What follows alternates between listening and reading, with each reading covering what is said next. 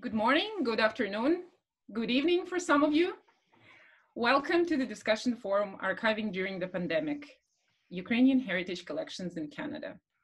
I'm Marina Chernyavska, I'm the archivist at the Kule Folklore Center, and I will be moderating the first roundtable today. Uh, first of all, I would like to acknowledge that the place where I'm speaking from today is located on Treaty 6 territory, traditional gathering place for many indigenous people, including Cree, Blackfoot, Métis, Nakota Sioux, Iroquois, Dene, Ojibwe, and many others, whose histories, languages, and cultures continue to influence our lives. I would also like to acknowledge uh, all our Ukrainian ancestors who came to Canada, worked hard and persevered, cherished their language and cultures, and built Ukrainian communities that we know and are part of today. I invite you all to approach today's meeting with respect and gratitude to those who came before us, to those who were here before us, and in this way to contribute to building of relationships between people and communities, between archives and archivists, relationships that will benefit us all.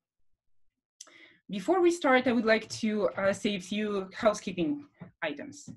So we have, we are expecting about uh, 70, a bit over 70 people to join from all over Canada, from Montreal to Vancouver, as far as I know. If you are further east or west, please let me know.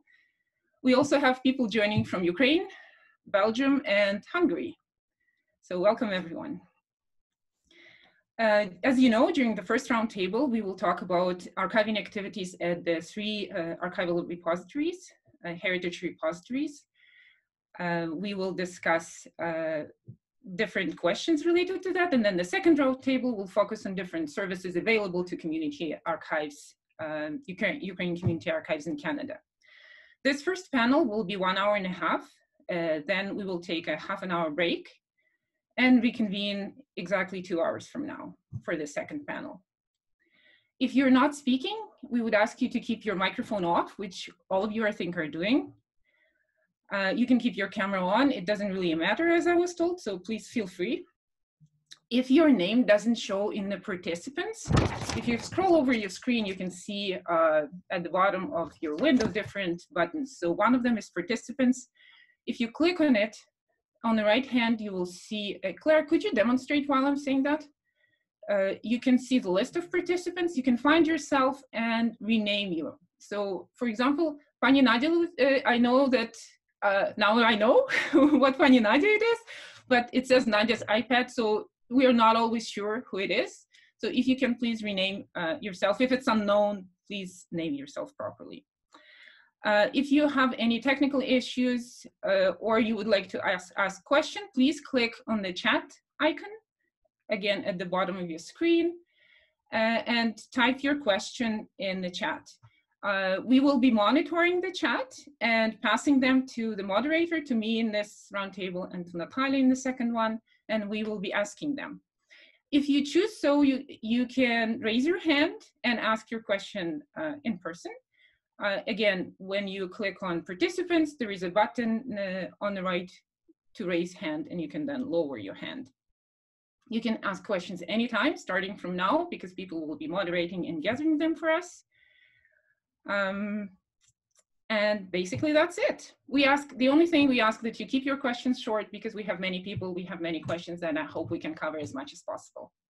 Okay, it is my pleasure to introduce three, three speakers for the first panel. Natalia Misakovitz, Olenka Skripnik, and Ashley Halko Addley. I will present all three people and then we'll get started.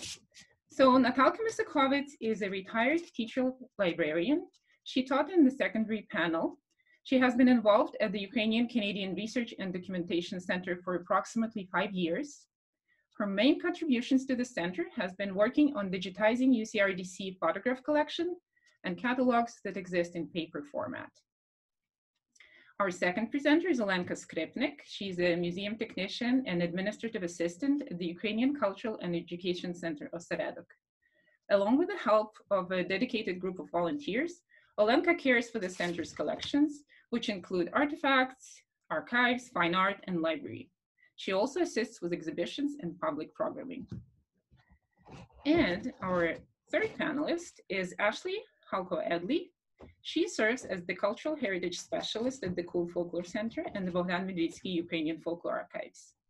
Ashley works on various projects at the archives in the center, including archival projects, research projects, publications, exhibits, digitization initiatives, public accessibility to archival materials, and others. Welcome to all of you, and let's get started.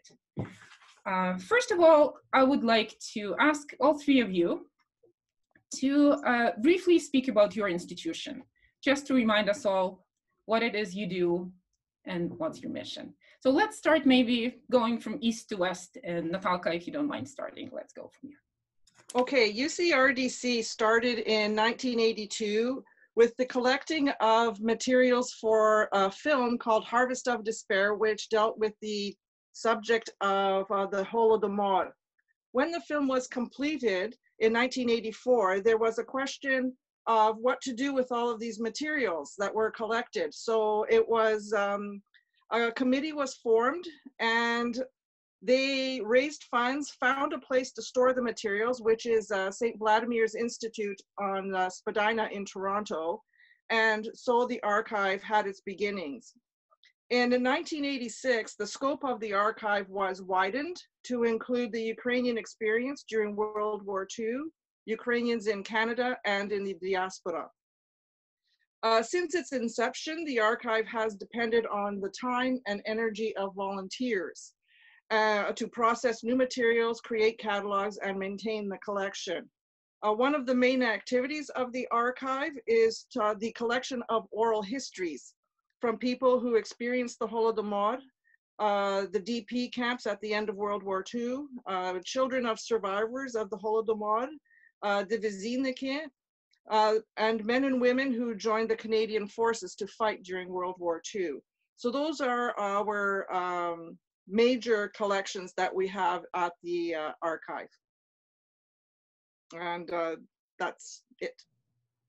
Thank you, Natalka. Uh, Olenka, would you like to go next? Yeah, so um, the Ukrainian Cultural and Educational Center, also known as Oseredok, uh, we just celebrated our 75th anniversary. We were founded in 1944. Um, so Oseredok is a public heritage institution with a mandate to preserve and share Ukrainian um, heritage in Canada. So we have a collection of archives, art, cultural materials, library materials that all relate to intellectual and cultural life of uh, Ukrainians in Canada and our communities.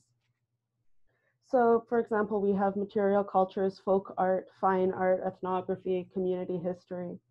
Um, when we share all that through public programming, so we have exhibitions, we provide tours, and we do um, activities such as workshops and lectures. Uh, and we provide access to our holdings to researchers and um, references to the public. Thank you, Olenka. And Ashley. Um, the Bohdan Ukrainian Folklore Archives are located within the Kule Folklore Center, which is a center and institute within the Faculty of Arts at the University of Alberta. Uh, it was established in 1977 when Dr. Bohdan Medwidsky uh, collected and compiled the fieldwork materials from the first Ukrainian folklore classes. Um, and it's grown since then. We have a archival holdings as well as a non-circulating library, uh, special collections, and that special collections has some artifacts which are uh, generally part of a larger archival collection. Uh, the majority of our holdings uh, have been created from student fieldwork, uh, but we also have um, a large range of collections just about general Ukrainian Canadians and diaspora cultural life, not just within Canada. Uh, it's been growing over the last 10 years uh, a lot, and it uh, we have a number of collections uh, that the public can come and look at. Thank you, Ashley. So let's let's dive in. Given the title of our discussion forum today, archiving during the pandemic, uh, the idea was to get together and to share experiences that uh, some of them could be pleasant and exciting, some not so much. We are living in a very strange time. But uh, archivists uh, sometimes manage to make the best out of what we have. So I would like you all to share how pandemic affected your operations. Um, were there any um, challenges? Were there any breakthroughs that you managed to do due to the pandemic? So please share. And whoever wants to go first. I can go first. Okay, Natalka. Yeah. We can go east to west again. Well, uh, well during um, at the beginning of the pandemic, we basically had to shut down um, because everything was closed and we didn't have access to St. Vladimir's Institute. Uh, but once uh, things settled down, our uh, office uh, administrator was able to access the um, the office. However, during the time that we weren't in the building, she was able to uh, work remotely uh, from home, and so basic operations of the archive was able to be maintained. the volunteers, we used to um, meet every Wednesday. So once the pandemic came, we were not able to meet anymore. And so a lot of our projects have been placed on hold because of that, because we're not able to physically go and physically uh, manipulate or, or work with the materials that, that we have uh, collected. Uh, but however, there are a few projects that are uh, we are able to work with remotely. And so um, everything is isn't at a stand complete standstill. We're still moving forward, however, slowly. Okay, I think that's that's all we've had. Yeah. Yeah. So um, Oseredok also a lot of things with her operations had to slow down. I just noticed there was a question also that I'll address. Oseredok is in Winnipeg, Manitoba. We're here downtown. Come visit us. We're open. Um, but so yeah when the pandemic hit we had to close down and we were working from home. And that really affected a lot of our public programs. Like uh, we offer every year Pisanka workshops and we had to not offer those we offer we were going to do a Vyshyvanka day uh, celebration and we couldn't do that. Um, and then again with the collections specifically because of a lot of the work that we needed we were doing with collections is uh, physical like with accessioning things are here you need to see them. Like there's some work you can do at home but a lot of it um, i couldn't do in my apartment so we started really focusing on planning things that we could do with the collections. We were um, like looking ahead at what when we got back what we would do. Um, another thing that we did was or had issues with our operations is we do exhibitions. And because everything was closing down um, it was very difficult. It still is very difficult to plan an exhibition um, how many people can come in how that affects numbers for openings that's important for artists to have people come to openings and lectures um, but we're figuring things out like with Vyshyvanka Day, we actually had some people that work at the Kule Center do presentations on our YouTube channel. And um, yeah, it's been difficult, but we've been finding ways to work. And now, actually, because Winnipeg is pretty open, we're back in the offices and open for the summer. Wonderful. Wonderful. So, are you actually, can people come and visit? Yes, so people can come and visit. Um, we the first line of um, entry, I guess, is into our boutique. We're allowing four people in, or two people in the boutique at once. Um, and then in the exhibitions, we are allowing four people in the boutique at, or in the exhibition spaces at once. We have two exhibition spaces. So, you know, there can be, what's the math on that? Like eight people in the, um, or 10 people, public in people in the building at once. We also do have five floors here at the Oseredok, so that helps us with social distancing. Oh, it definitely does. Yeah. Thank you, Lenka. Ashley, would you like to step in? Yes. Um, so the university buildings um, closed in March for us very abruptly, uh, and we moved everything online. Uh, luckily, we were working this uh, year on a project uh, with our research assistants and our research teams that was majority based uh, online and was able to be done from home. Uh, we were working on processing our local cultures project, which is a project, a fieldwork project that was completed um, almost a decade now, ago now, um, or over a decade ago now, almost two, sorry, almost two decades ago now. Um, and so it was quite smooth for us to transition home uh, and we were able to still have projects to do so that we were working.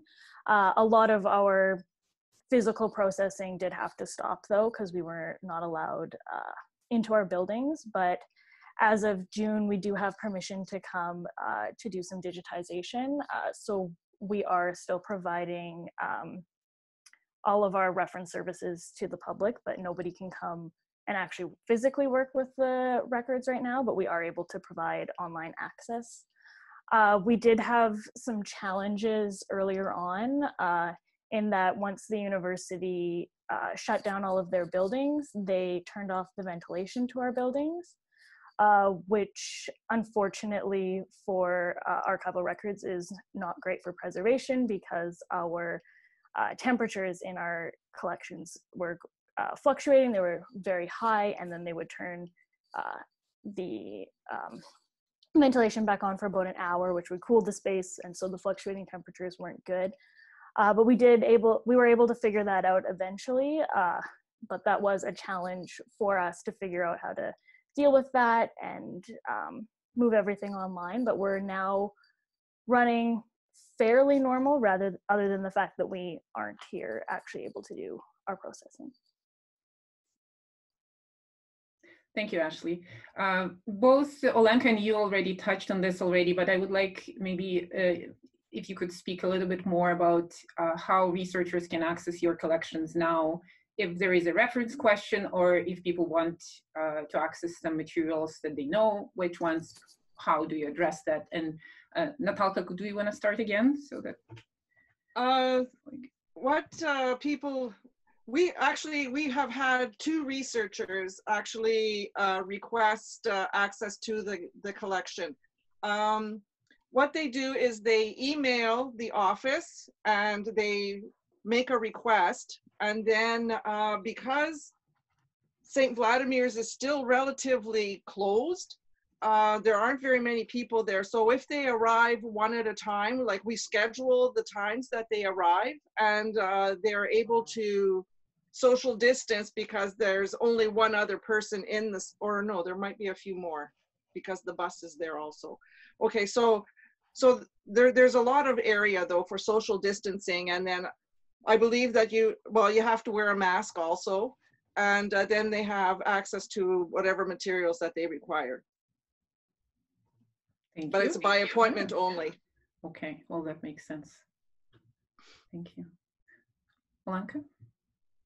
Yeah, so um, again, Winnipeg is in a kind of a little bit of a different situation than other places in Canada.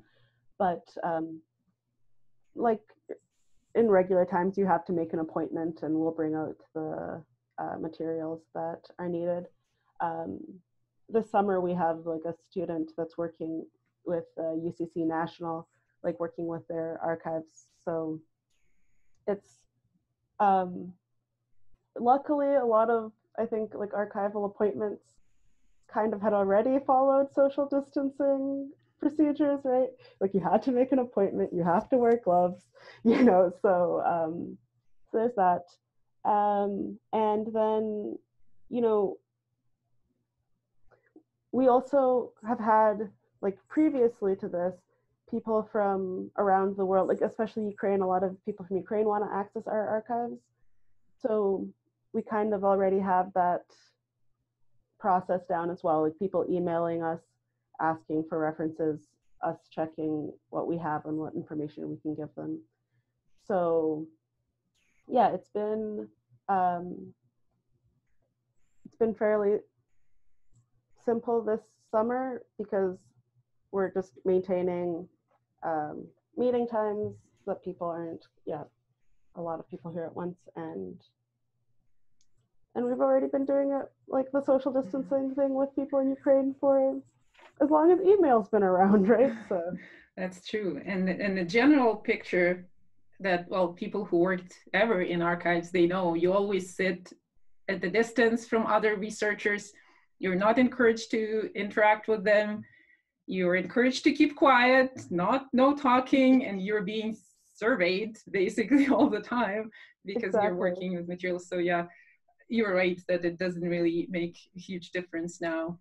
I mean, it. There are complications and things you have to be more careful about, but I do think that yeah, archivists are uniquely ready for this, in that they already required an appointment. No drop-ins aren't, you know, too welcomed anyways. So, thank yeah. you. I do have a follow-up question, but I would uh, ask Ashley first to answer the question, and then I'll get back. Uh, so during non-pandemic times, um, during the school year, we have uh, public hours from 1 to 4 p.m. But during the summer, it's always by appointment only. Um, and we encourage researchers as well to book an appointment before they come anyways so that we can have the materials ready for us. Uh, there are kind of two routes that people can go about accessing our holdings. You can either uh, send an email to uh, our archivist who will you know see what we have and get back to you.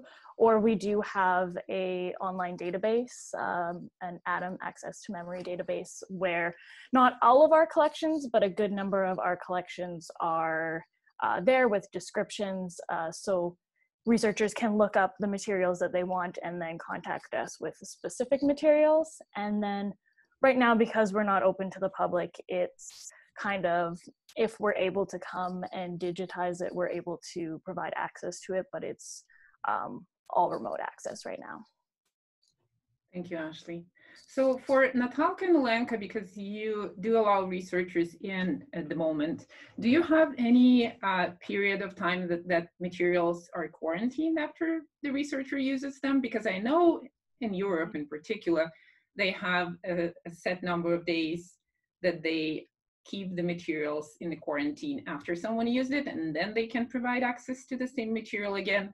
I know that we may not have a lineup of researchers wanting the same exactly collection, but have you, uh, do you have any procedure in place for uh, this kind of case?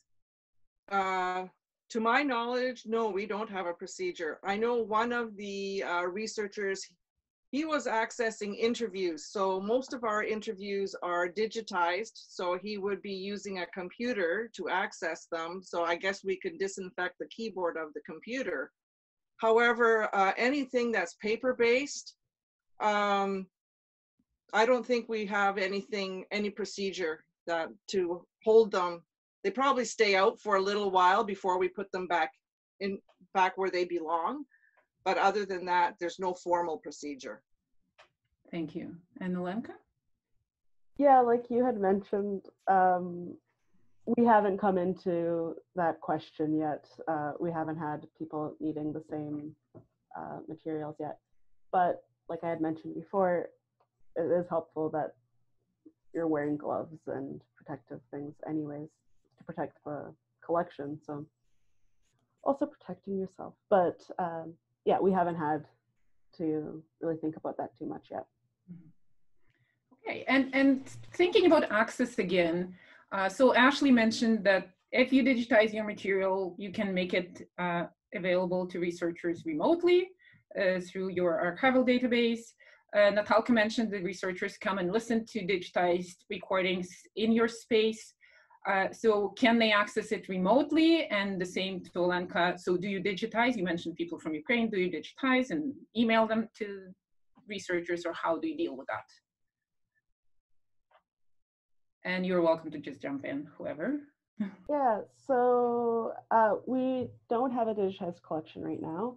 Um, like my intro mentioned, we have volunteers and we have a collections committee. Um, and the plan is right now like a five year plan. We're hoping to start digitizing things um, depending on grants and things like that. But uh, right now, uh, no, so if someone emails and wants um, access, they can either send someone, maybe that's in Winnipeg, to come down and do it on their behalf, or for a fee, we can also uh, do some scanning.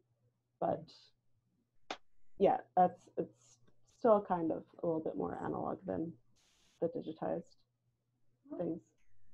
You're an old institution. There, that's no wonder. Yeah. Okay. Our uh, our digitization is spotty, and also um, what you can access remotely is also like there's certain things that we have available and other things that we don't have available. So we are um, we we are in the process of getting more digitization. But for example, the, the Vizimnik interviews that uh, this particular researcher required, they're not available remotely. So he had to physically come into our space and look at them through the computer that way. Okay, thank you. Ashley, would you like to add anything?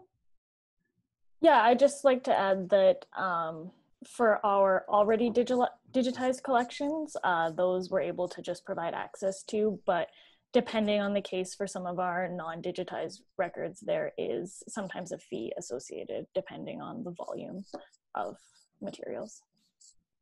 Thank you. Well, and uh, thank you all. Now, I'm thinking many people present here, uh, myself a little bit, we know your holdings a little bit. We know what you have, but if a person didn't know much, uh, do you have an online catalog or archival descriptions, how can people find out what you have? Or maybe published catalog, uh, like people used to do back in the day. Uh, how, how can people find out about your holdings and their content? Who wants to go first? Uh, I can go first. Um, I did mention we do have an online database. Um, it's not complete, but it's constantly being updated. Uh, so that's kind of our first place where I would send a researcher, even when they come in. Sometimes we'll sit down together and uh, look at the database uh, to see what we can find before I go and look in other places, anyways. So that's a great kind of starting place because you can look up specific records or you can look up a specific topic or you can just browse collections and see what there is online, that sort of thing. So there's lots of ways that you can just kind of come to the database and then from the database figure out what you're looking for. Thank you, Ashley. Um, Natalka? Okay, at, at UCRDC, I think uh, most research could probably start with our website and see what kinds of things we have available through the website. And then if they have questions, they can either email or phone the office and the um, office administrator is uh, very knowledgeable or quite knowledgeable about the uh, collection. So she would be able to field a lot of the questions that people might have. And then uh, also uh, we can refer to Pani Iroida Vinnichka and she knows everything that's in the archive because uh, she was one of the founding members of the archive. So um, Doesn't you have know those everything. those kinds of access. Pardon? She doesn't know everything. She knows very little. You know a lot. No, no, you know most of what's there. Thank you, Natalka. It's Without great you, to we'd have be all lost. great to have Yeah, we have, Panida here. um, Yeah, go ahead. We have, uh, like, once you arrive at the Institute uh, or at the archive, there are also uh, paper catalogs that, that have been created for, for uh, many of the collections. So you would have access to those catalogs, but you have to physically be in the center in order to do so. Thank you, Natalka. Paper catalog is much better than no catalog, that's for sure. I can tell you. And and both Bojana and Pani Ruida, I believe, are here. So kudos to you. Thank you, Natalka. Olenka. Yeah, so um, similar, we have our website where it mentions the our five collecting categories: so museum collections, archival collections, library collections, fine arts collections, um, and then we do have paper catalogs as well. And like you had mentioned, there are these older published um, resources throughout libraries in Canada that, you know, will mention what kind of books that Oseredok has or um, things like that. Yeah. Okay, thank you. Uh, we are starting getting questions from the public and I will let you three rest for a minute. Uh, I will take the first one and I think I can answer it. Uh, Olana is asking, uh, does U of A have an, a, connection with Mundare? I understand Basilian Fathers Museum in Mundare. They have a collection of manuscripts, but don't respond to requests and don't seem to be open to any contacts. Um, I've been, uh, they have a, a single person who is responsible for their archives, museum, and library. Uh, so it, it's really tough because uh, Karen Lemiski is the person who, who is in charge, but she's the only one. So there is a ton of material. A lot of it hasn't been cataloged yet, and there is a long way to go. They do have wonderful collections. So I, I'm, I'm sorry to hear that you were not able to, to, uh, reach out to them, but uh, I think maybe I can help. Uh, I was talking to Karen just yesterday, I think, last time. Uh, the good news that I hope I have right to share about Mundare, uh, but it's really good news, especially today. Uh, they are hiring a librarian, a full-time permanent librarian, which in this day and time, I mean, it's an excellent news. I'm sure you would agree with me um, because uh, they recognize that their library is so big and so significant that they need a person dedicated to it full-time. So it means hopefully that Karen will be able to spend more time, to dedicate more time to museum and archives and uh, provide more services. Um, yeah, I hope this partially at least answers uh, Elena's question. Okay, next question we have to Ashley. Can the Kule archives listing be accessed through the Kule website? Ashley, I'll let you answer. Uh, yes, uh, they can be. There is a link. I'm think trying to imagine our website right now. But yes, uh, if you go to the uh, BMUFA portion of our website, it can be, or it can be accessed uh, at ukrfolk.archives. No, Marina, what's our website? Archives.ukrfolk.ca. Archives.ukrfolk.ca. Sorry. We can, yeah, I can type it in the chat. Yeah, and then so that's that will show you um, our collections. Um, and then we're actually through that same website uh, uh, if it's uh, possible we have uh, are able to provide access to digitized collections through the website but that would require uh, contacting um, us directly for that. Okay thank you. Thank you ashley. Okay i would like to i have another question that i really want to ask you. Uh, now during the pandemic do you continue accepting donations? And if so, what is the procedure? Okay, I can start.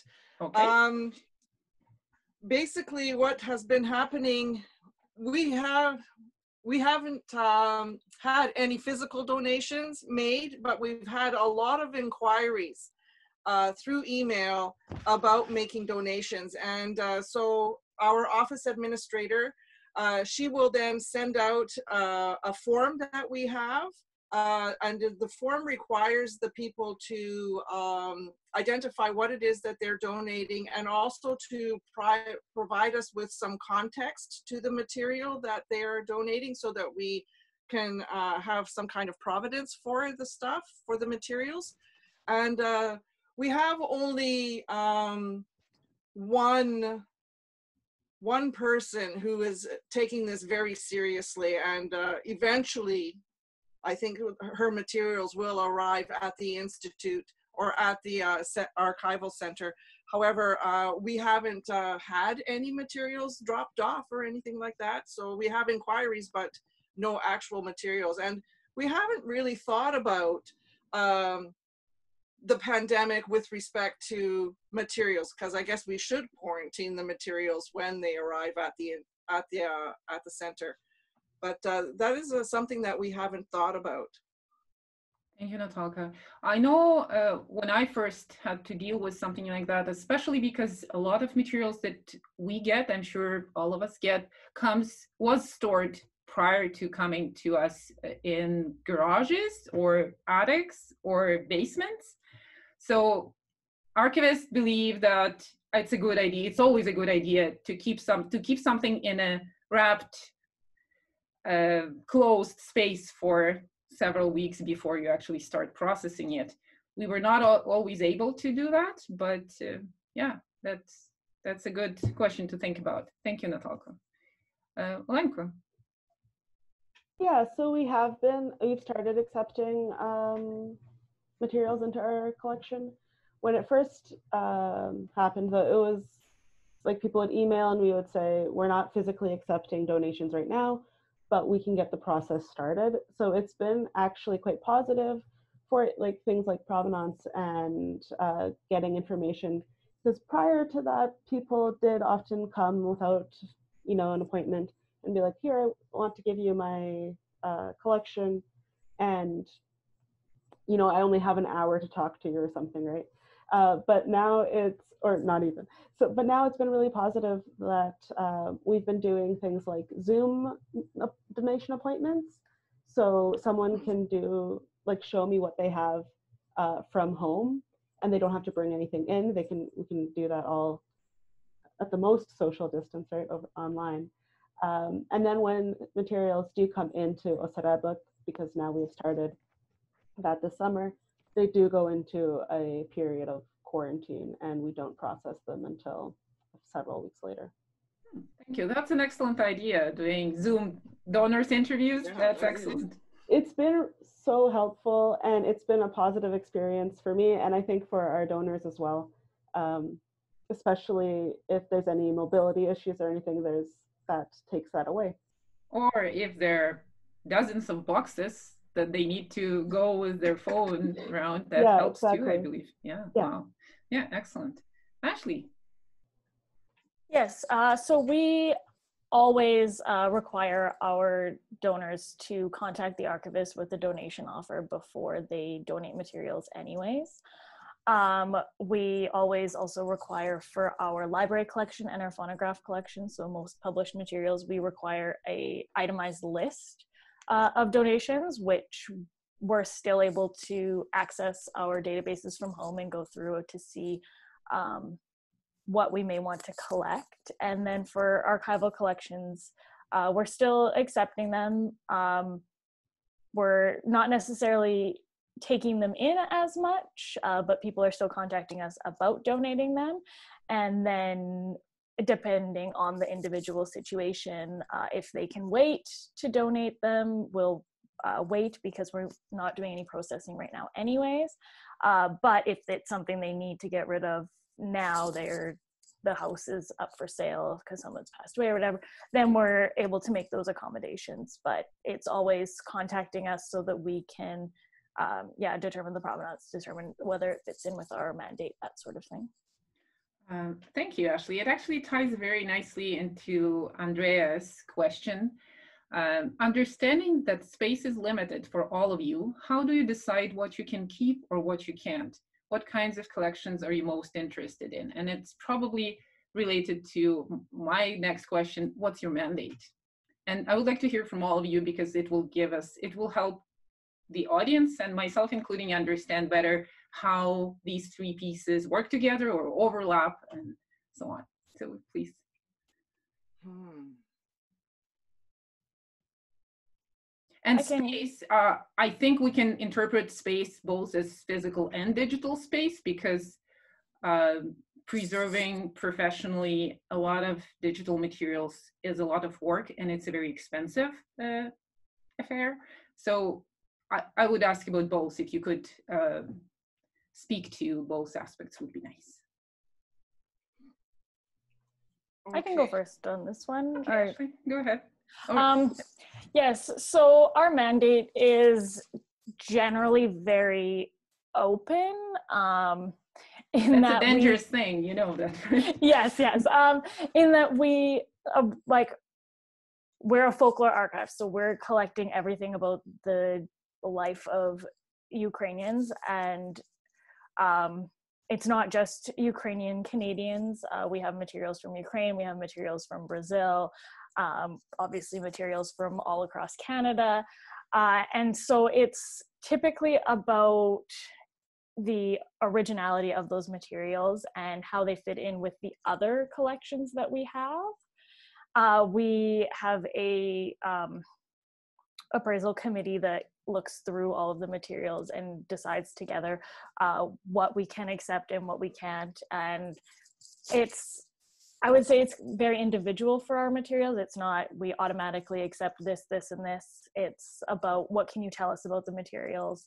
Uh, where did they come from? What is the significance of them? And that sort of thing before we accept them because our space is limited, so we can't unfortunately, as much as we would love to be able to just accept everything, uh, we just don't have the space to accept everything. Thank you, Ashley. And it makes me think how important uh, contextual information is for archives. As Olenka already mentioned, and I think Natalka as well, uh, if whatever you're offered, you don't know where it came from, who made it, and why, uh, it has uh, so much less value. Right. Thank you, Ashley. Who wants to go next? Natalka, would you? Okay, at the at the UR, UCRDC, uh, our mandate began with the Holodomor. And then once we expanded, we, we, we look at more of large historical events that uh, we like to collect materials for. And because we uh, do a lot of uh, oral history, I think we reach out to people in order to interview them. And then once we have those interviews, they're digitized. So we have a digital storage problem. yeah, that's what I was referring on, to. So it, like we keep on needing to have, you know, more and more memory space in order to store all of this material. Um, physical material, we also have limited uh, space. So when we have donations, they're always, um, uh, we evaluate what aspects of the donations we can keep and what what we we don't really need and so we either give those things back to the family or destroy it if they don't want it um, but but that's that's the basic process that we have. And i think we have to be like quite picky about what we accept and uh, from whom we accept it. So you know if it's really interesting and and if it's someone who was really active in the ukrainian community uh, like we take all those things into consideration before we accept and process uh, materials into the collection. Thank you natalka. Olenka, would you like to step in Yes, so um, it's much the same. We need the contextual information, um, and then we also we collect a, like a lot of a varied amount of things. So we're quite lucky here at Oseredok that we have a collections committee that is um, built up with like a lot of heavy hitters. We have Dr. Myroslav Shkandrij, we have Dr. Robert Klymasz, we have Orest Martynowych, Zen Hlushok, James Kominowski, Dr. Stella Hryniuk, Ken Romaniuk. These are all the famous names. All the famous names. We're so lucky uh, to have them because they are all experts in various different aspects of Ukrainian uh, history in Winnipeg, in Canada, like internationally. So yeah, we're really lucky that we can go to this committee and ask them for um, their expertise for what we can collect and yeah. Do you always go through this committee with all the donation offers that you get or only selected? Um, we don't have to, but uh, yeah, they're there for our help when we need if you them. Need. Okay, okay. We have two very closely related questions from the audience. Uh, so the first one is from Bogdana Bashuk what, in your opinion, is the level of expertise required in order to make a decision on the collectability of any given archival material or museum materials? Well, I'll just go on because I was mentioning the collections committee. So um, I am the museum technician and I uh, have like a degree in art history and do these things. But um, there are these people that here at Oseredok that are like invaluable resource to us that help us with the credibility of what we collect. Well, and maybe we can add that those names that you, well, those who you named are historians, folklorists, and others, other scholars of uh, Ukrainians in Canada specifically. So they do have a very uh, close expertise knowledge. Yeah, yeah, that's good that you have that committee. Wonderful. Uh, Ashley, Natalka? Uh, we're dependent on the expertise of our volunteers and the uh, historical backgrounds that they all bring to the table. Um, so we're dependent on on them. Once they leave us, we're going to be in a little bit of a quandary as to our expertise. So we might have to reach out into academia as the uh, Winnipeg Center has done having that kind of advisory uh, panel or committee, yes. whatever you call it, might be a good idea. Someone who is passionate, inv- invested, but also knowledgeable about the the subject of your research. Yes, wonderful, Ashley. Yes. So while it's definitely valuable to have expertise about you know the context of ukrainians ukrainian canadians that sort of thing i think it's more important to be an expertise on what you have in your collection. Uh, so we need to know what's in our collection so that we can see where the gaps in our collection are, where things fit in, what we already have, so we're not accepting duplicates. Uh, and then also being somewhat of an expertise on the collections uh, in your community. So often uh, the question said both archival material and museum materials. So, for example, we are not a museum, so we often get um, people contacting us and say, "Hey, I have this artifact. Do you want it?" And if we're not able to collect to accept it, we then know what other museums are in our community, what other organizations are in our community, and what their mandate is. And then we'll go, we can't accept this, but it may fit into the mandate of this organization. So let us connect you to them because it may fit in better there. Um, and so it's not just necessarily an expertise of knowing the subject material, but also knowing your collection and having a good understanding of the other collections in your community. Thank you, Ashley. And you basically answered uh, next question from Irena, uh, Irene Jinjowski if you cannot accept a collection, do you redirect it to other institutions? So thank you, Ashley, for answering, and I'll let Olenka and Natalia answer that as well. Yes, we also do that. If we cannot accept something, or if it's something that's too big, then we will also redirect to uh, whatever um, archive we think, or museum, well, I think mostly archives, we deal with archives that uh, would be able to use or accept those materials. Yeah, and we do the same thing. If there's something that doesn't fit our mandate, um, try to find an appropriate home for it. That's excellent. And we can talk too. So it, I, I think I think most of these referrals are happening locally, which is the most appropriate thing uh, in many cases because material usually originates in certain locality and it's the best if it stays in the same locality. But I think it's also important that all of us keep in touch nationally because uh, yeah, something may work for you that we cannot accommodate. Yeah, that's good. Uh, you, you mentioned, Olenka, Dr. Klymasz, Dr. Robert mm -hmm. I remember him visiting us and looking at our archives, and that was 2009, I think. Uh, so 12 years ago, 11 years ago. Um, and he said that uh, the problem of many Ukrainian Canadian archives are that their mandates are too broad.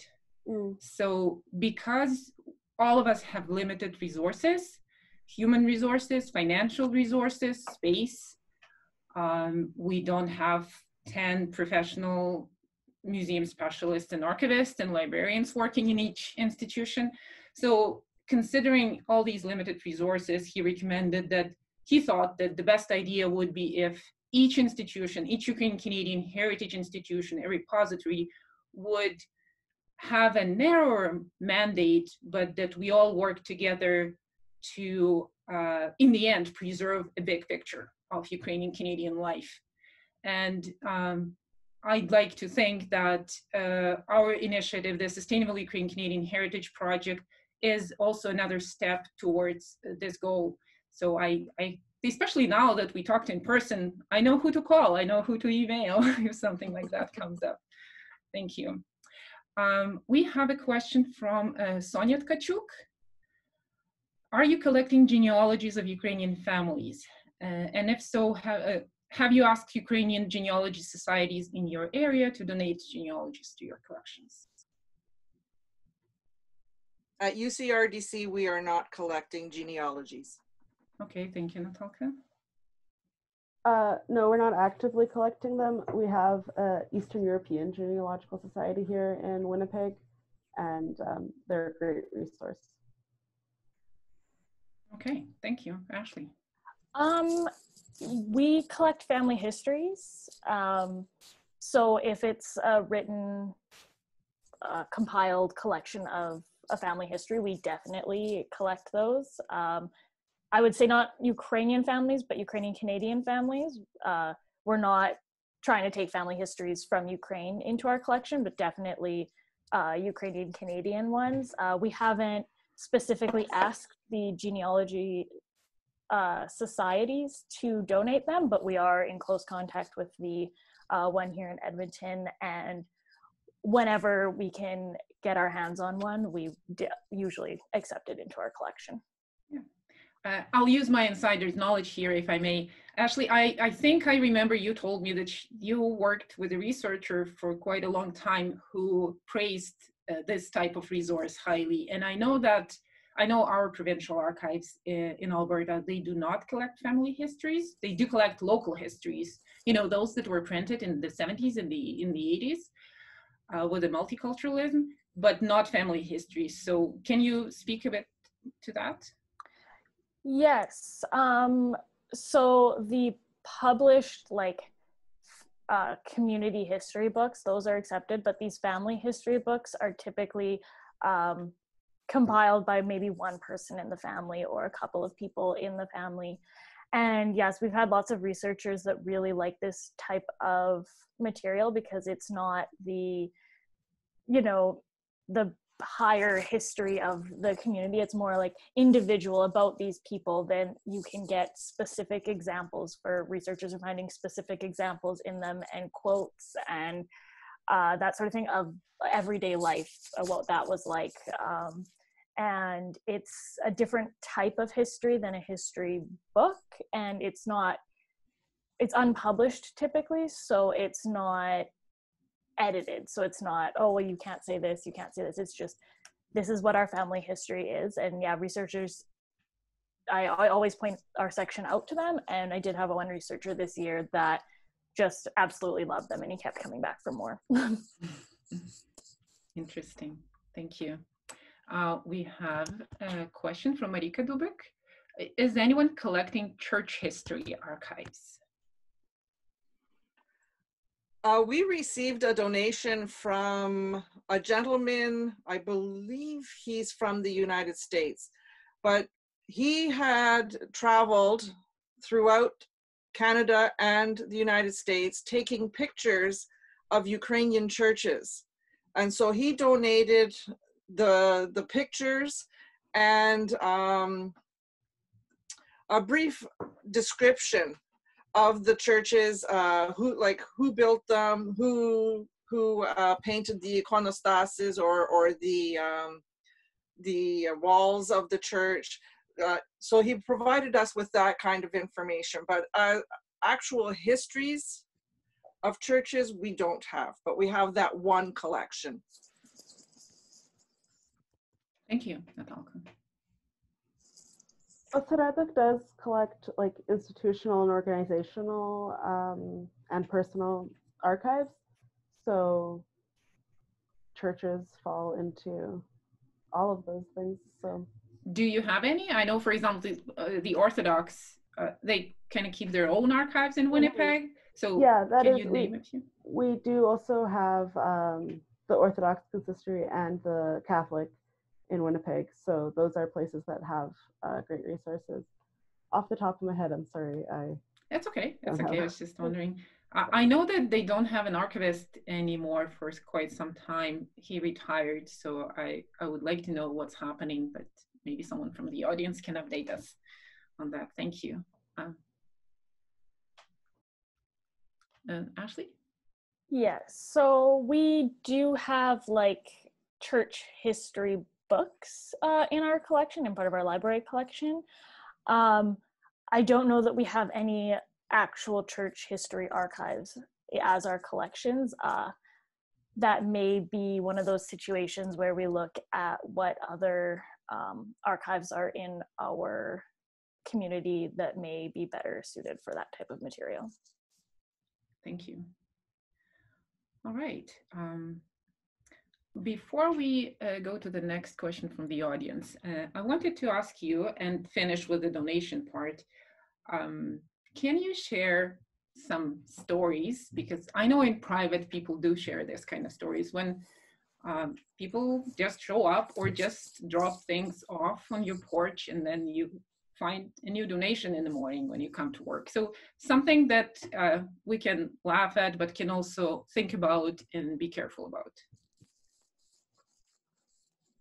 Is this during the pandemic? Uh, if you can specifically, go ahead. If not, generally works too. We haven't had any pandemic donations uh, that were problematic.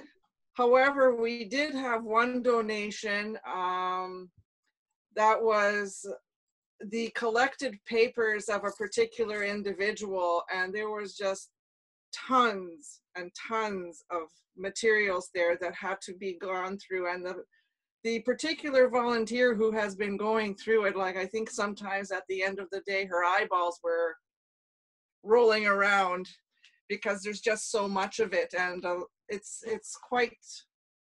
I don't want to say tedious, but it it's it takes a lot of time and energy to to go through all of these papers. I think it would have been nice if the family had done a preliminary look through and then and then gave us the papers but that's that's the way it is. So that's one of the major donations that we're we were working on before the pandemic.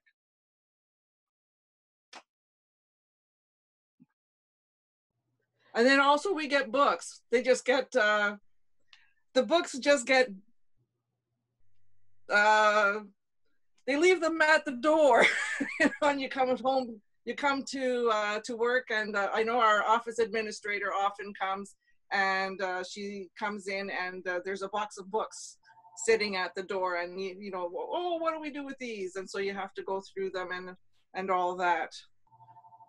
Sometimes it's it's you it's useful what you get and oftentimes it's not so useful and then you're scratching your head what do we do with all this stuff the books are a big one that like to get just get dropped off. Yeah, you're right. Um, Oseredok recently had kind of an opposite of the horror story thing where uh, people just drop things off.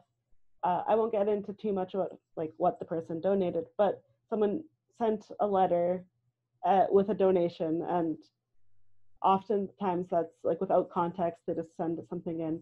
But this one had a very nice letter that explained everything that we needed to know. I could call them back and let them know. And so it was, I mean, we do um, require donation appointments to make donations into the collection. But out of these kind of horror stories, quote unquote, it was a nice experience.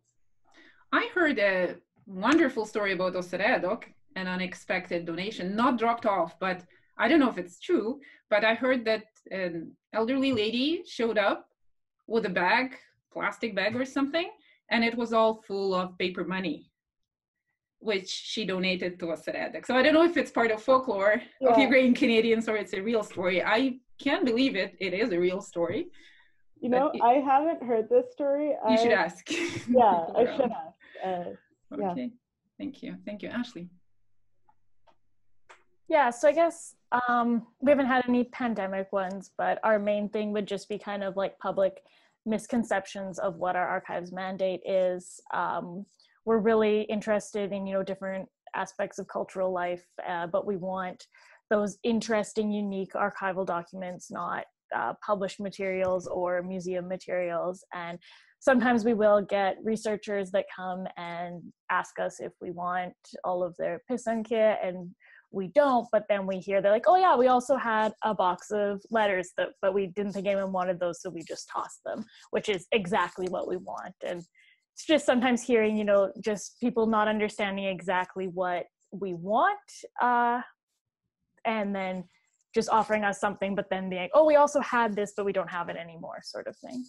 Mm-hmm. thank you ashley uh, many, most Ukrainian Canadians, I believe, had wonderful libraries, and now that they're getting older or they pass, it's really difficult situation because I don't know how about you, but it's so hard to throw away books. It's it's practically impossible. And yes, we I think we all try to find a good home for them. I know there are projects uh, that deal with sending books to Ukraine or other uh, Ukrainian studies centers abroad uh, not in Canada and not in Ukraine necessarily, but uh, as you know, it's expensive. But it, it, it is a big issue. Thank you, everyone. Uh, I have a real, uh, would you like to add anything? Oh, no, I just wondering if I could address one of the questions I see coming in in the chat. Which one would you like to address? Uh, the Ukrainian Canadian music. That's what I wanted to ask next. Yes. Uh, can I just read it yeah. real quick? Okay. So Marika Dubek is asking, one second, it's jumping. Um, if anyone is collecting Ukrainian uh, Canadian music, Ukrainian records collection are going in garbages across Canada. The time to collect and archive the history of Ukrainian music in Canada is now or never. So Ashley, go ahead and then. Yes, so we have been collecting Ukrainian Canadian music. Uh, we have a very large phonograph collection. Uh, and as of about two weeks ago. Uh, our inventory of what we do have is uh, being completed. Uh, we have a researcher that has been working very hard on um, being able to tell us exactly what we have. He's looked through every single um, phonograph in our collection, and he can. We can now. Um, we have a nice list that we can go through to see what we need to collect. So we we are collecting it. We but uh, we do work that is one of our main materials that requires a itemized list before um, donating because uh, sometimes people do have you know hundreds of these in their collection and uh, we just don't have the space to collect hundreds of duplicates. There are thousands of them in some thousands collections. i just got a donation offer the other week yeah. Uh, olenka Natalka, do you want to talk to uh, about phonographs yeah, we have, go ahead. Uh, we have a collection of LPs in our collection. Uh, and yeah, no, we have a lot of stuff from like choirs um, locally and throughout Canada. We have a lot of, if anyone is familiar with Mickey and Bunny. Oh, of course. Of course. Who isn't? and actually, right now in our exhibition that was curated by Dr. Shkandrij, called Tradition to Modernity, those are up on display, uh, some of our collection of uh, LPs. Yeah, and if I may just in, in, interject, uh, Basilian Fathers Museum in Mundare is also finishing a project doing inventory of their LP collection. So they also have uh, apparently a large LP collection.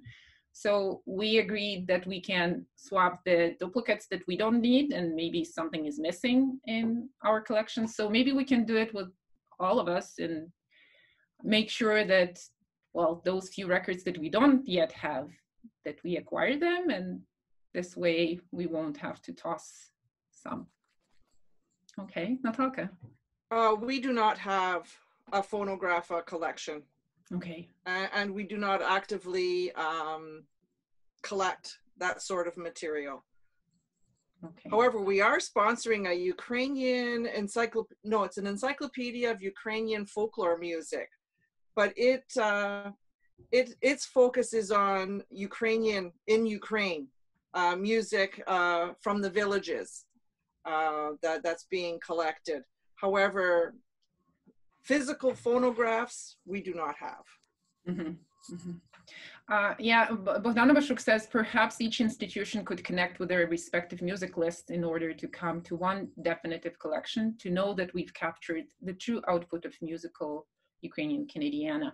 And uh, I would like to add to what Ashley said that uh, the uh, project archivist who was working on inventorying uh, our collection at the Bohdan Medwidsky Ukrainian Folklore Archives, he's finishing scanning the covers uh, so we are hoping to post the catalog with the covers, with the pictures. It's much easier, as you know, to uh, browse through a catalog, uh, seeing the pictures. So that would help, I guess, uh, both donors who would like to add to our collection, but also our colleagues at other uh, Ukraine Canadian archives who may um, have something that we don't and the other way. So definitely that's a very good idea, both Bogdana.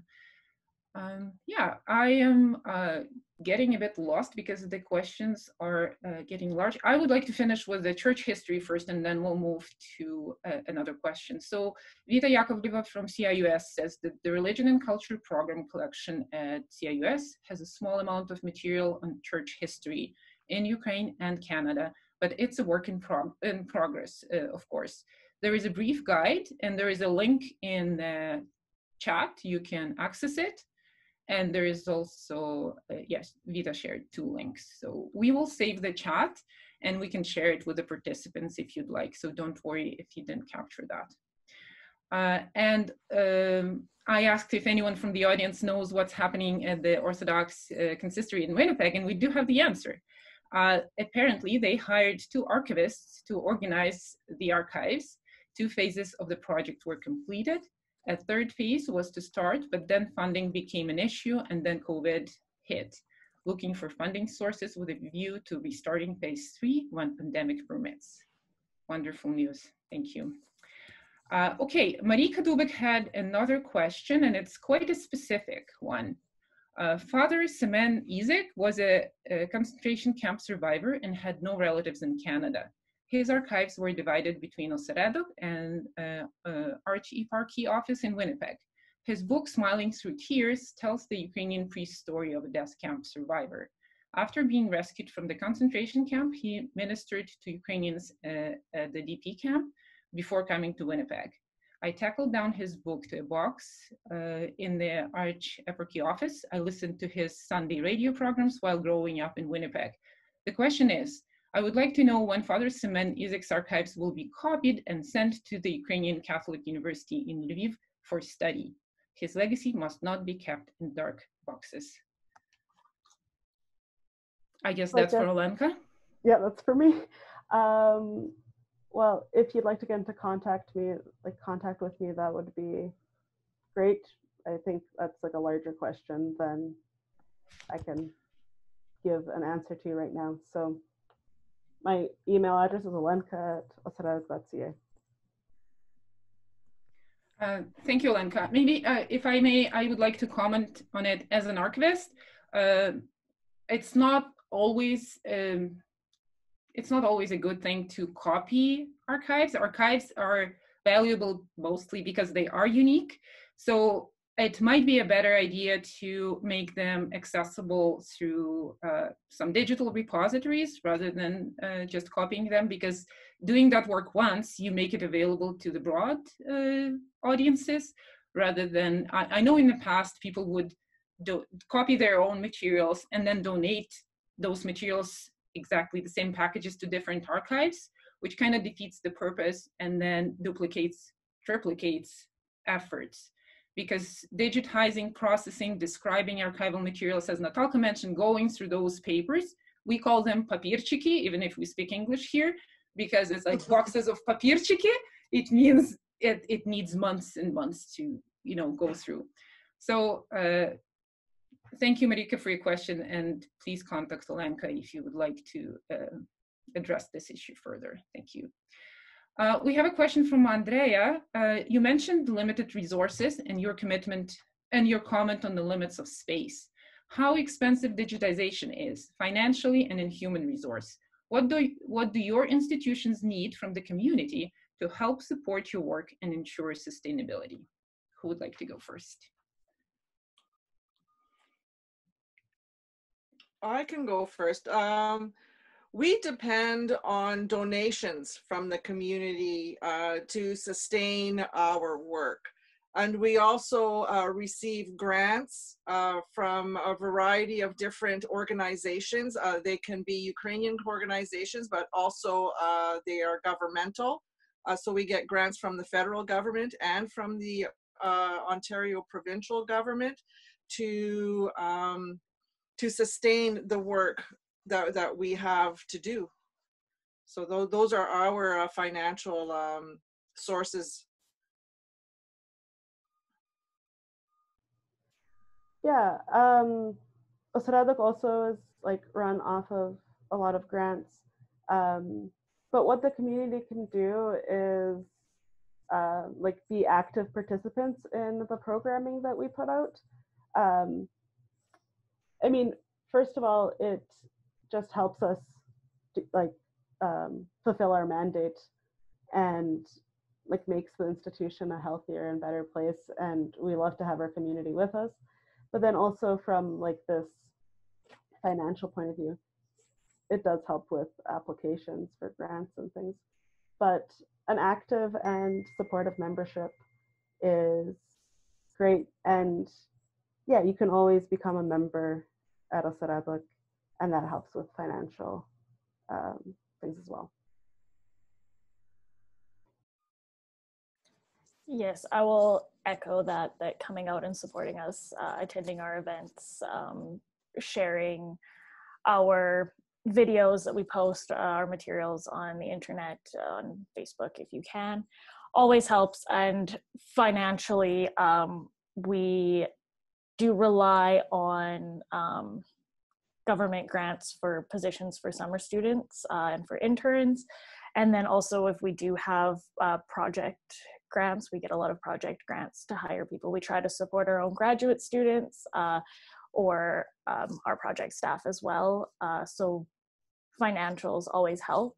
Um, I would guess, I'd say more generally, not just with our institution, I would say um, there's a need to fund also more permanent positions uh, across the country rather than relying only on you know summer students to come in and do work at many organizations. Um, four months is not a lot of time to train somebody and to have them complete uh, a vast number of projects. Uh, and so if there is kind of a drive for community support i'd be interested in seeing if we could fund some more permanent positions at organizations across the country so that these students who are filling these summer positions have uh, employment opportunities afterwards. Thank you, Ashley. Uh, Marianne Pilipchuk is asking which specific grants do you apply for from the government? Um, we do Young Canada Works, uh, both their summer employment and internship for new graduates uh, as well as Canada Summer Jobs. Um, the Young Canada Works one is specific for students, while the Canada Summer Jobs one is for anyone, uh, any Canadian citizen under between I think it's 15 and 30, so under 30. Uh, and then we were relying also on the government of Alberta's STEP program, but that has been canceled. Mm-hmm. Olenka Natalka? Uh, we um, we apply to the same uh, for the same grants as uh, Ashley does. So, so th- they're the same ones from the federal government for summer students. Yeah, we uh, get funding from the City of Winnipeg, from the Province of Manitoba, and uh, Young Canada Works federally. Thank you. Do you know about uh, COVID emergency funding that became available just recently and the deadline is coming uh, September 1st, if I'm not mistaken? Uh, well, you, you're nodding, Yolenka, so are you applying? Yeah, yeah we've applied for that You've grant. Um, on all the newsletters, it make, it's making sure that you know it's, uh, you can apply before September 1st. Okay. So you can Good. apply as early as you're ready to apply. Yeah, our organization has um, also applied for that funding. Natalka? I believe we're applying also. I think our treasurer is applying. He mentioned something to that effect. Mhm. Mhm. Thank you. Um, we have another question uh, from uh, Elsie. Uh, do any of your archives include sources for Ukrainian Canadian, Ukrainian or Ukrainian Canadian dance history, such as social events, teachers, teaching, performance groups, and so on? And at least two of you, I'm sure, can answer that question. Uh, Uh, yeah. UCRDC, no. Okay, thank you, Natalka. Ashley? Uh, yes, we do. Um, our uh, center uh, director for a very long time was uh, Dr. Andriy Nahachewsky, and his research focus was on dance. So we do have a lot of those materials in our collection. Thank you, Ashley. Yeah, we also have some uh, dance history in our collections, um, like such as Rusalka here in Winnipeg. We have some of their archives. Um, I know Andy is listening. Andy, would you like to add anything to that? Because I'm sure you know about dance resources across Canada better than anyone else here. Hello, everyone. Uh, yes, we have actually quite a lot o- on dance, both on uh, dance that is uh, social dance and also stage dance. It's uh, organized in some cases, and in a lot of cases, some of the things are not organized yet uh, and accessible uh, to researchers. So there's it's still a work in progress. Um, but I think actually it's quite valuable. In particular, stage dance videos we have a, a very large collection that's that's uh, fairly systematic for Ukrainians in Canada, but also goes to mm, perhaps a dozen other countries of, of Ukrainian dance groups in around the world. Uh, yeah, I think it's a fantastic topic. Thank you for the question. Thank you, Andy, for sharing. Thank you. Uh, all right. Um, I see uh, Marko Levytsky would like to ask a question in person or provide a comment. Uh, Marko, would you uh, unmute yourself? Uh, basically, uh, uh, am I on right now? Can everybody hear me? Yes, we can hear you. Okay. Uh, what I wanted to do is, uh, I and I spoke with Marina uh, yesterday, and I've, I've been in touch with her, so I'm coordinating a lot of this stuff through her. Uh, and she will be looking at some of the, the material that we have. But I wanted to let everybody else know what is available, and what whether they would be particularly interested in any particular thing. Now, I'm referring both to archives of Ukrainian news and personal ones. Uh, with Ukrainian news, we have uh, like the individual copies from about 1988 on, which will be digitized uh, through a project with uh, the Kule uh, Folklore Center. Uh, we also have a whole bunch of yearbooks. Now, um, the yearbooks are basically single copies from about 82 to 87, which uh, uh, you know, we'll have to go to one particular source only. But then there's two or three copies of the of the yearbooks from about 1988 on to 19 to 2017 when I merged with the Neve. Uh, and I'm won- wondering whether anybody would be interested in that. Other things that uh, could be available, and I will listen. There's folk uh, number of photos from Ukrainian news, mostly from the 90s. Uh, the rest of it is it's all digital on my computers, some of which have uh, crashed, so that's gone. There's photos of uh, from my parents of uh, their life in uh, Winnipeg and Toronto in the 50s. Uh, some may be from Ukraine. There's some from Ukraine. I don't think they have any of the divizia because uh, they uh, destroyed all those. My father didn't want to. Well, the fa- my father did not admit being a part of the divizia when they were. He came to Canada before they were sort of cleared by British authorities. Um, and uh, a lot of uh, photos and costumes from Saharava, and of course books. Um, Theater in Toronto. Uh, I don't know who might be interested in that. I'll be in touch with Saharava as well, and we have costumes. I'm just asking, is there anything that I've listed that somebody would be particularly interested in? Thank you, Marco. Uh, would any of you uh, like to answer?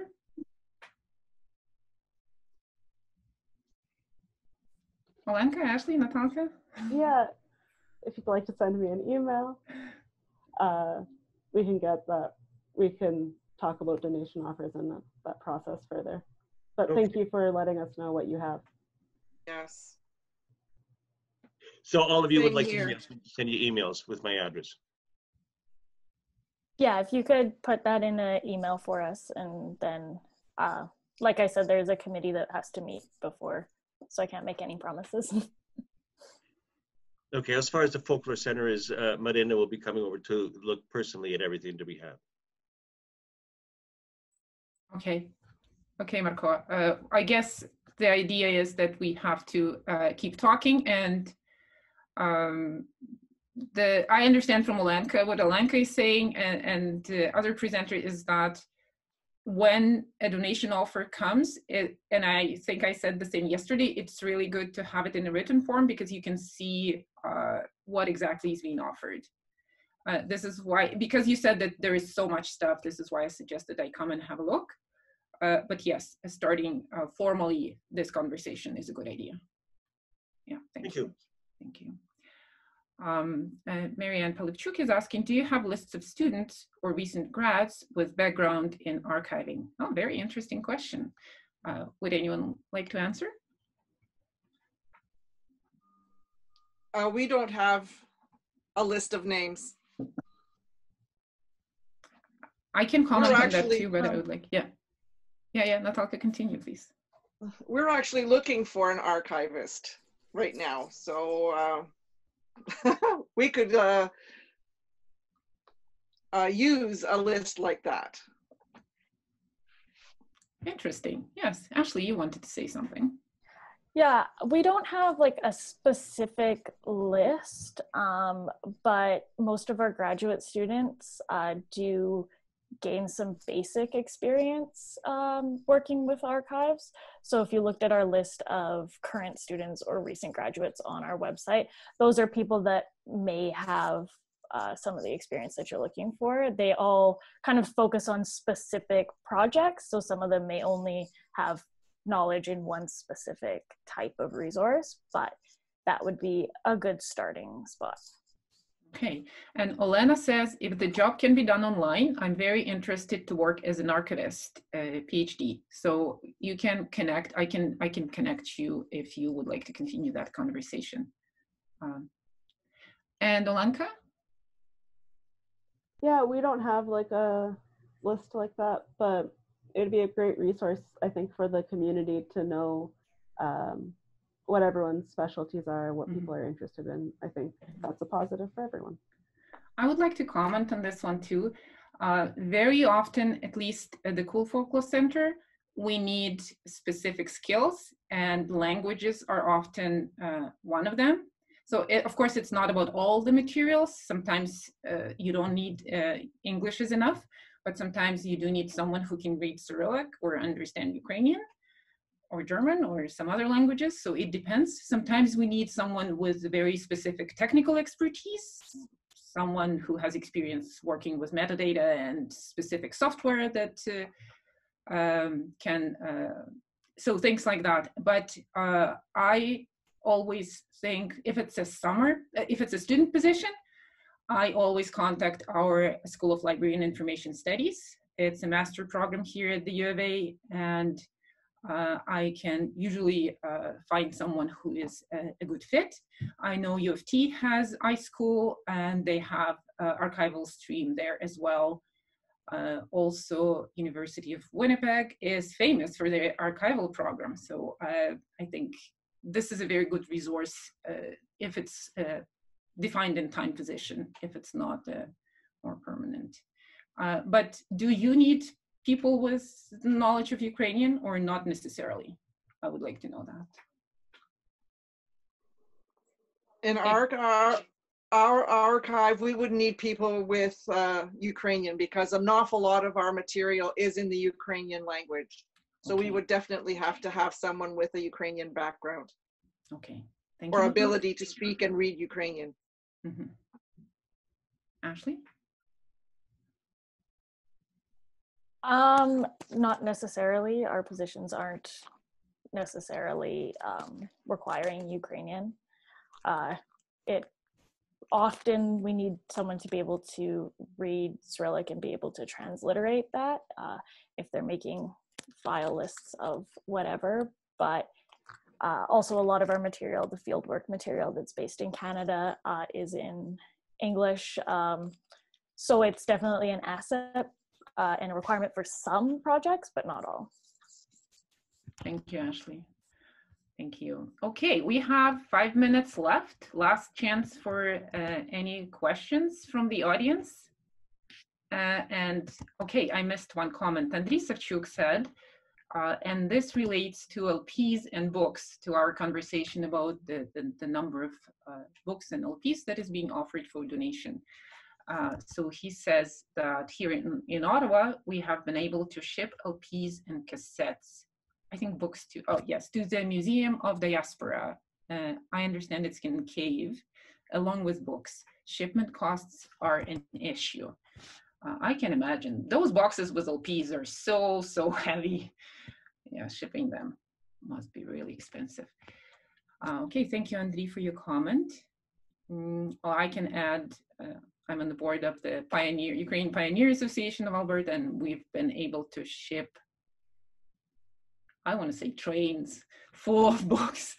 Uh, I'm probably exaggerating, but many, many containers of books to Ukraine, to Ostrih, to um, Donetsk University that is now in Vinnytsia uh, since the war started, to Ukrainian studies program in Korea, uh, South Korea. We started talking to people in Brazil, but that is not moving really anywhere. But yeah, this there is a need for that, especially for literature published in diaspora, because back in Ukraine, they didn't really have access, much access to uh, those publications. Okay, uh, we have another question from Marika Dubek. Is anyone collecting archives of Plast or Sum? I can answer about Alberta, but I would ask Olenka and Natalka maybe uh, answer first. Uh, we have some materials uh, from Plast. Um, I'm not too sure about SUM.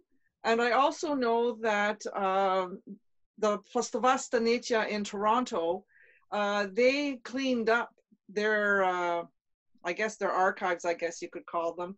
And they sent a lot of materials to the National Library or the National Archive. National Archives, but but they are accepting, and Andriy Savchuk can comment on that, but they are accepting only materials of national significance. So I would imagine only the the national uh, Plast, not yeah. the specific Ontario or uh, Toronto. Yeah, thank you, Natalka. Olenka. Yeah, we do have plast uh, materials, and we do have some uh, Sum materials as well. Okay. Um, about plast in Edmonton, Stanitsa, uh, plast uh, they have their own archive and uh, Pani Nadia Censar is in charge of that. Um, I would ask Irene Jinjovsky to talk about SUM. As far as I know, she was involved in uh, processing that archives. Irena, can you please Oh, maybe Irena can't hear us. And Andriy Savchuk. Sorry, Irena? I uh, just had to unmute and un oh, yeah. put myself Hello. on video.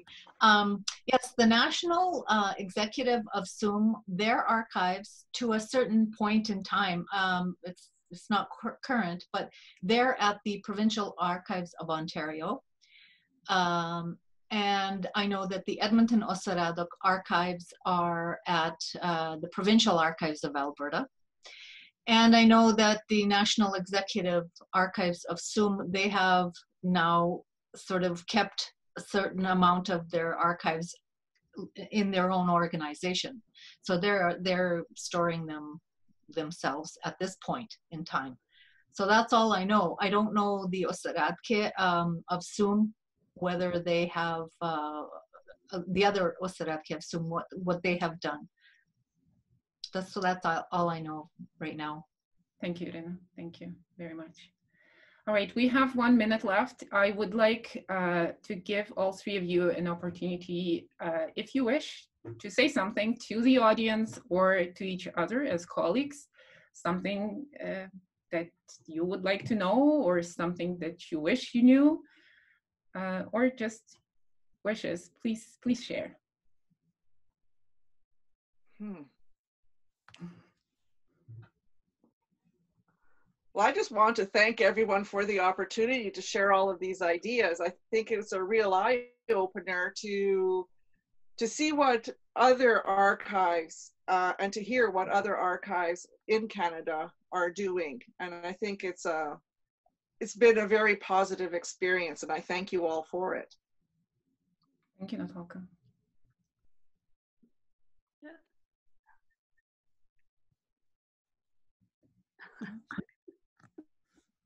Uh, we have a raised hand. One second. Yes, please, go ahead. I would just like to say thank you for your session. It's been very useful to me to know more about you, and it's wonderful to see your faces, not just words, not just the, your labels. So I thank you for organizing this this particular group. I will not be able to stay with you in the next session, but I appreciated this session. Thank you. Thank you, Elsie. Thank you for your kind words. Thank you. Olenka and Ashley, we we ran out of time really now, but if you would like just to say something, please go ahead. Yeah, um, I just want to thank you guys for organizing this. It's been great to uh, talk to everyone. I'm fairly new to my position here at Oseredok, and so it's been really nice to get to talk to people uh, throughout Canada about collecting um, Ukrainian heritage. Thank you. Ashley. Yes, thank you. I really enjoyed this session. Um, I hope that we'll be able to make some connections from it and to work together a little bit um, it was really great to also see how much everybody's actually being able to still accomplish, even though we are going through a pandemic and we have all these limitations, to see that work is still being done and we're all kind of moving forward with this and able to provide access to our materials. That's really reassuring. Thank you, everyone. We shall do it again. Thanks. So now we have half an hour break. Uh, I hope to see you all back in half an hour here. Thanks and see you. Enjoy your break.